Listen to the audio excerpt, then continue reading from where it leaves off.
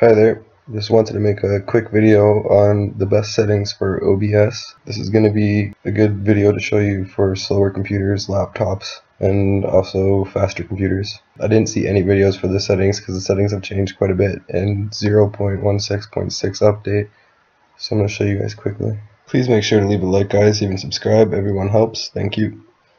Alright, so in general, there's not really anything you're going to have to change there. Stream, I guess you can change your service depending on who you're streaming with.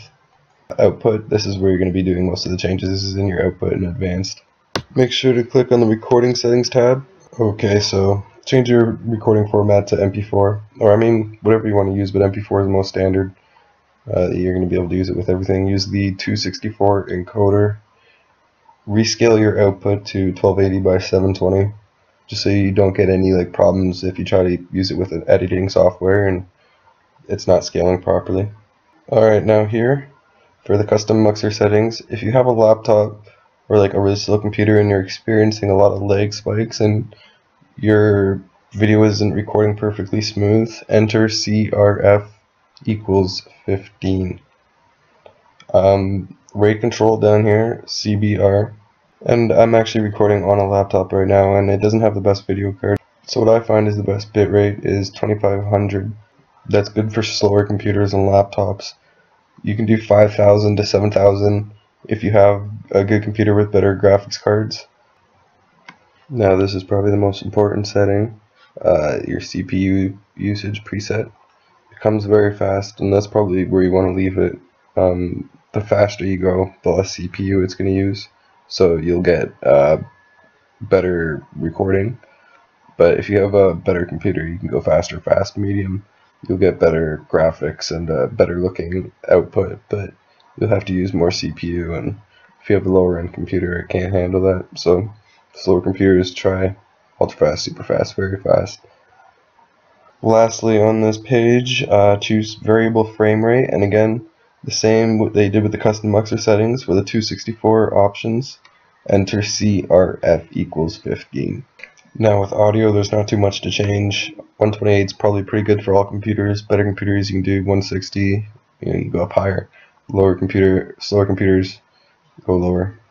Alright, now on to advanced settings. The first thing you want to change is the general process priority. Uh, it comes on normal. You want to change it to above normal. And you can get even better processing if you go up to high. But again, that will put the OBS high in your processes and like other programs may lag, including the game or whatever you're recording. Uh, so above normal is good, and if you're getting a slow recording, then you can change it up to high. I'll just show you video here quick as well. I can't remember exactly how it comes, but make sure your base canvas is 16 by 9 and your output is 12 by 720. Again, with the common frame rates, I use 30 because I'm not using the best computer, but you can put that up to 60 if you have a good computer. That is pretty much all you have to change if you are just recording. I will now show you quickly if you're looking to do some streaming as well. I'll show you the set settings quick. Uh, right here you can do a stream delay.